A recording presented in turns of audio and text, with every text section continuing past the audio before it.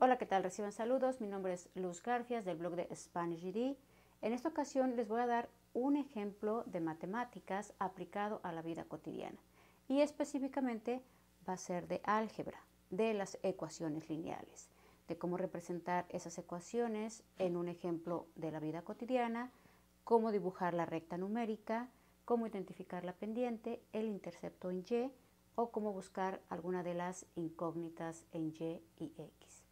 Y esto lo hago porque tengo cantidad de estudiantes que dicen que no le encuentran sentido a la aplicación de las matemáticas, sobre todo cuando estudiamos álgebra, que vemos letras y si les pasa como a mí, cuando cursé la secundaria, la pasé de noche, lo que es la materia de álgebra, solamente veía el pizarrón lleno de letras, X, Y, y lo pasé de noche.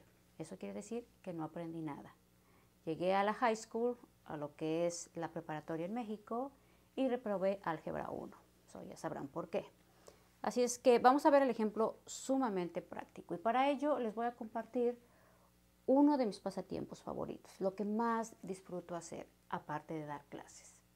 Y es el excursionismo o irme de hiking, como dicen acá.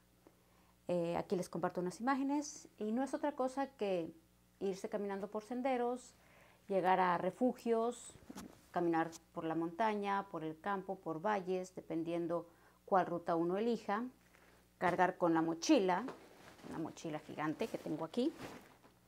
en esta mochila llevamos todas nuestro equipo, todas nuestras cosas que vamos a ocupar, comida, ropa, casa de campaña, quizás un tipo colchón, etc. Pero ¿qué tiene que ver todo esto con las ecuaciones lineales? Veamos el ejemplo que les voy a dar. Y entre las cosas que tenemos que llevar, bueno, por supuesto son las raciones de comida. Y vamos a asociar lo que es el plano cartesiano con las raciones de comida que llevamos cuando vamos de excursión. Pensemos, si voy por 8 días, en la coordenada de X voy a marcar mis días, que serían del 1 al 8. Y en la coordenada de Y voy a marcar las raciones de comida. Usualmente llevamos lo que son este tipo de bolsas. Eh, cada bolsa tiene según la ración para una comida, pero nosotros nos hemos dado cuenta que nos alcanza para dos. Además nos rinde más. Así es que yo por un día, en lo que es la comida regular, me voy a gastar una bolsa. La mitad la como al mediodía y la mitad en la tarde, aparte de las colaciones. Si vamos dos personas, serían dos bolsas por día una para cada persona. Así es que vamos a ver los ejemplos en el plano cartesiano de cómo lo representaríamos aquí. Si son los días, las X, y si son lo que son las raciones de comida en la Y. Y también vamos a aprender a identificar lo que es la pendiente, el intercepto en Y, la ecuación y vamos a dibujar la recta. Vamos a ver dos ejemplos, uno sencillo y otro donde nuestro intercepto en Y es negativo. Así es que revisen el ejemplo, la explicación que voy a dar a continuación y los veo enseguida. Bien, ahora vamos a ver el ejemplo de cuántas bolsas puedo comprar si necesito ir de excursión por 8 días.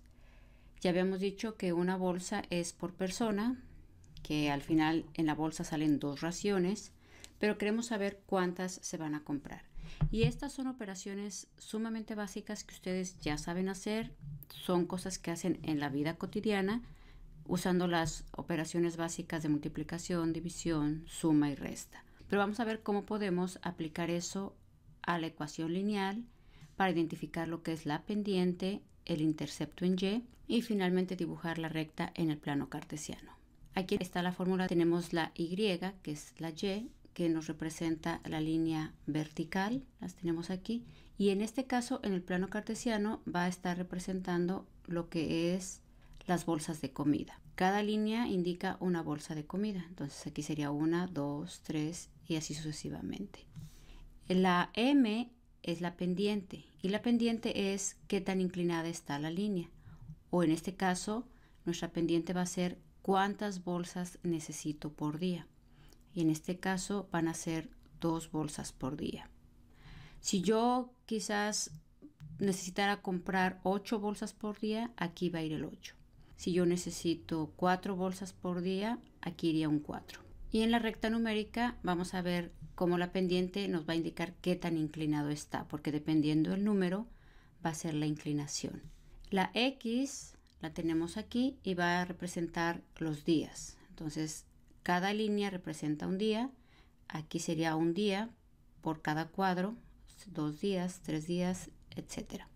Y el intercepto en Y es donde va a cruzar la recta en Y. Si vamos a empezar con cero bolsas, aquí es donde va a iniciar o en este punto va a partir la recta. Pero por ejemplo, si yo tuviera ya cuatro bolsas, aquí voy a iniciar mi recta.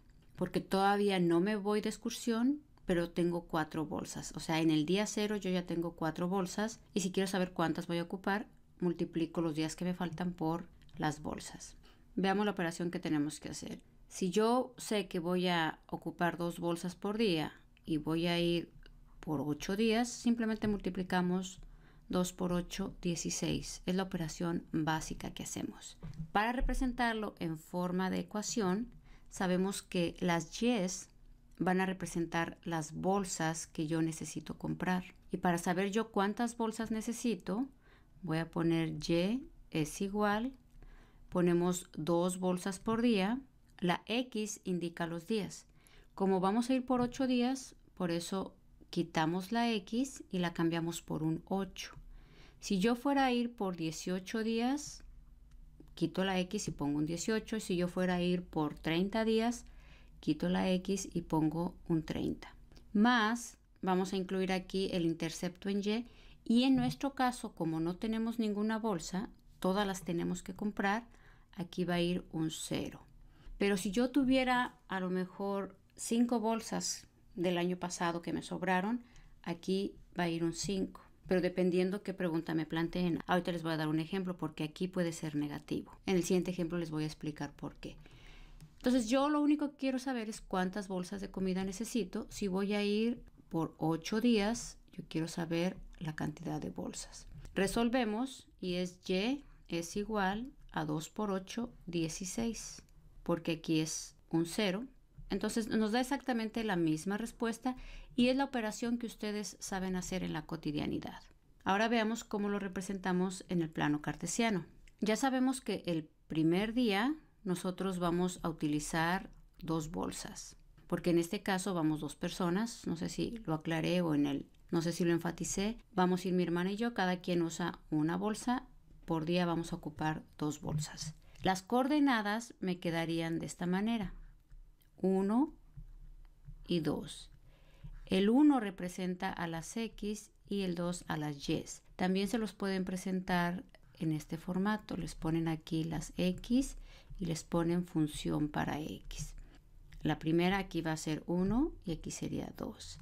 Para el segundo día nosotros ya vamos a usar cuatro bolsas. Mis coordenadas serían 2 y 4. Y en la función les pondrían 2 y 4. Y así sucesivamente. Ustedes pueden continuar. El tercer día le aumentamos 2, son 6. Para el tercer día van a ser 6. Escribimos la información aquí en la secuencia y también lo vamos a poder representar en el plano cartesiano. Veamos, por ejemplo, para representar este, que es lo mismo que este, nos vamos un día porque es las X, entonces el primer día nos movemos una unidad a la derecha y dos hacia arriba, aquí va a quedar para el segundo día van a ser cuatro raciones. Nos movemos dos unidades a la derecha en X y cuatro en Y. El tercer día 6, el cuarto día 8, el quinto día 10 y así va a seguir, dependiendo los días que yo vaya a ir. Puedo poner 50 días, 30 días y simplemente la recta va a ir aumentando. Vamos a representarla y aquí quedaría la recta. Y como pueden ver, podemos poner algo sumamente básico o unas operaciones que hacemos en la cotidianidad de manera algebraica representando la ecuación, poniéndolo en la fórmula, representándola en el plano cartesiano y escribiendo las secuencias en la función en este formato. Ahora vamos a ver un ejemplo cuando mi intercepto, que es este, es negativo, que quizás quede aquí o acá. Veamos el siguiente ejemplo. Aquí está la pregunta. Dice, ¿cuántas bolsas de comida necesitan comprar si ya tienen cinco y van de excursión por ocho días? Lo mismo, ustedes me pueden dar la respuesta automáticamente. No requiere gran ciencia, simplemente una multiplicación y una resta. Vamos a ir por 8 días.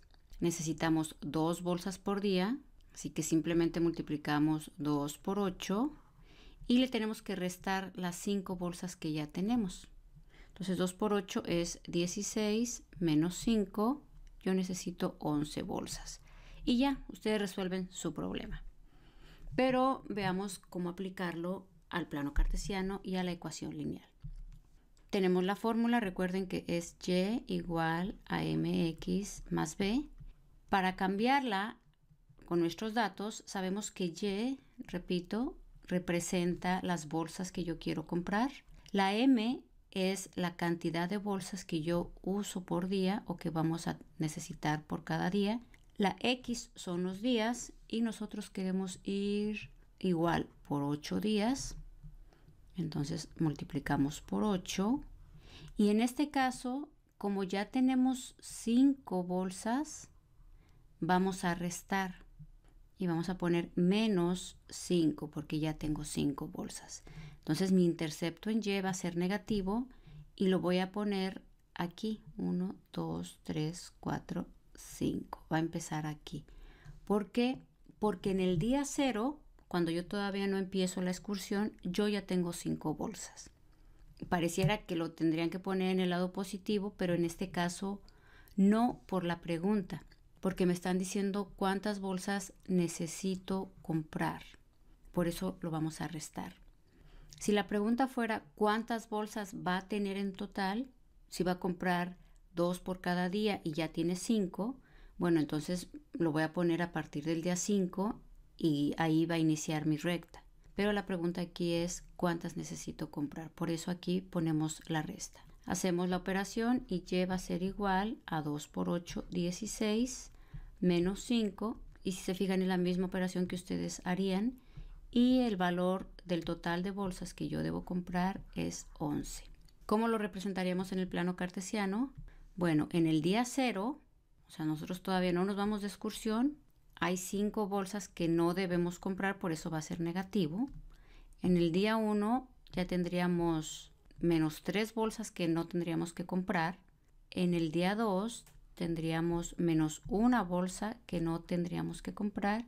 En el día 3 vamos a empezar a usar la primera bolsa de las que vamos a comprar. Vamos a ver para que no se me confundan. Es el día cero y yo todavía no voy a usar las bolsas que ya compré o que voy a comprar porque ya tengo 5. Entonces marco aquí mi intercepto en Y que es este, menos 5. La coordenada quedaría 0 y menos 5. Para el primer día, pensemos, yo todavía no voy a usar las bolsas que compré, voy a usar las que ya tenía. Entonces quito esas dos bolsas que me comí o que nos vamos a comer y me quedan todavía tres bolsas. Para el segundo día quito dos bolsas porque nos vamos a comer dos bolsas y todavía me queda una bolsa de las cinco que yo ya tenía. Y aquí quedaría uno el primer día, me quedan tres bolsas, aunque vean aquí el negativo va a parecer contradictorio. En el segundo día me queda una bolsa de las que yo ya tenía y en el tercer día ya voy a empezar a usar las bolsas que compré o que vamos a comprar. Entonces ahora para el tercer día, aquí va a ir el punto porque lo recorro hacia arriba una, dos unidades y una a la derecha. Y si se fijan es la misma secuencia. Una, dos unidades en Y positivo y una en X positivo también. Entonces es 2 y 1, 2 y 1. Para el cuarto día ya el valor va a ser 3 porque voy a agregar o voy a empezar a usar dos bolsas de las que yo ya tenía. Entonces la recta va a quedar de esta manera. Vamos a poner nuestra recta numérica y va a quedar exactamente ahí. Y si nosotros seguimos la secuencia, vamos aumentando un día y dos raciones de comida. Un día y dos raciones de comida. Un día y dos raciones de comida. Y podemos seguir así sucesivamente. Y la recta va a seguir la misma secuencia.